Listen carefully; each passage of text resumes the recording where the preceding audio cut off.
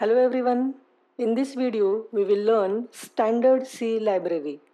In previous video, we discussed whenever any system call is invoked, the wrapper C function is getting called and not the direct service routine. The standard C library is libc and its GNU implementation is called as glibc. GNU stands for GNU not Unix. It's a recursive acronym. So the standard C library name is glibc.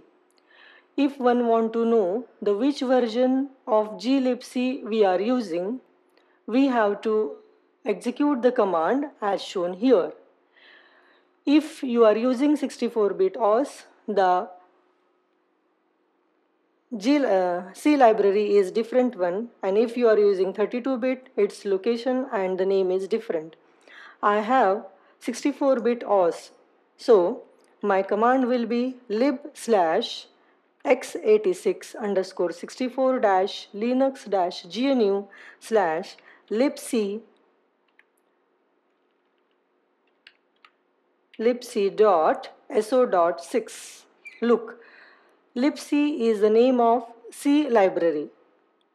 So is its extension so stands for shared object. It's a static library. So extension on linux system is shared object. Let us execute this command and see the details. It's a GNU C library. The release uh, version is 2.24. It is implemented by author Roland McGrath. And currently it is maintained by Michael Glad. Look, it is copyright of Free Software Foundation Inc. Incorporation.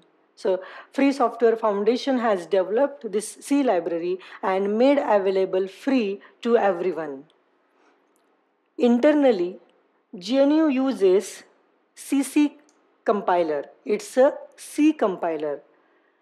Compiler's version is 6.2.0.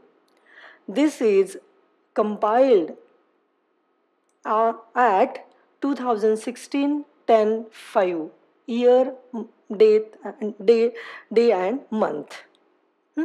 so this is what about the 64 bit command to know the kernel to know glibc version and internal compiler version as well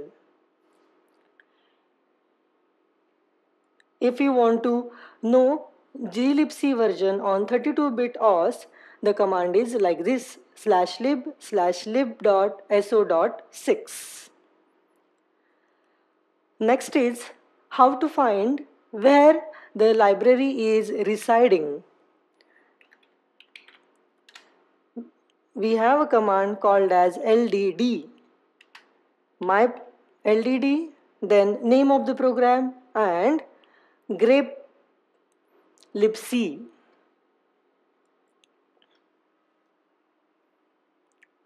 LDD is LD display. That is linker display. Then we supposed to specify name of executable file. In previous program we have implemented a simple hello program hello by lib.c and the executable name was hello by lib and we are going to find out for that purpose the command is grep and if anyone wants to know Details about this grep command, please refer our Linux as administrator course videos. We want to know the more about libc or find out libc from this outcome of the LDD. The meaning of this command is, to the LDD command, the input file given is hello by lib. It's a binary executable file. It will find out which library is attached and this executable is created. From this library, we are going to search a particular for libc content. So let me execute the command. Oh, look, we are having the path of our libc that is lib x60 x8664 linux gnu libc.so.6 So in this way, we understood what is glibc, how to see the version of glibc on both 64-bit and 32-bit and how to find out the location of glibc.